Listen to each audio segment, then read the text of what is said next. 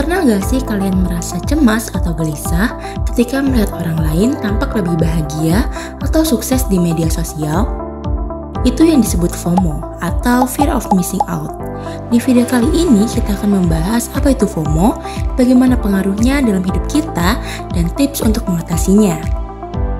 FOMO atau Fear of Missing Out adalah fenomena psikologis yang menggambarkan perasaan cemas atau gelisah yang dialami seseorang ketika merasa bahwa mereka tertinggal atau kehilangan pengalaman berharga yang dinikmati oleh orang lain.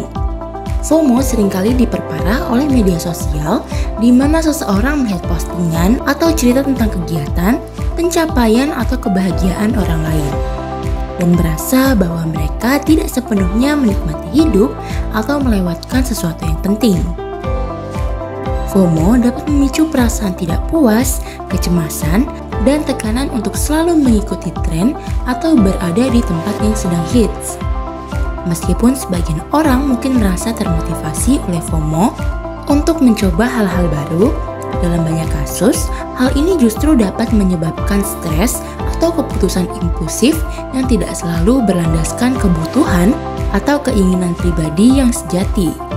Mengelola FOMO dengan baik memerlukan kesadaran diri, penerimaan, dan fokus pada apa yang benar-benar penting dan memuaskan dalam hidup individu.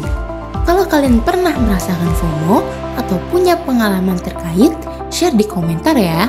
Jangan lupa untuk like, subscribe, dan nyalakan notifikasinya biar kalian gak ketinggalan video terbaru kita.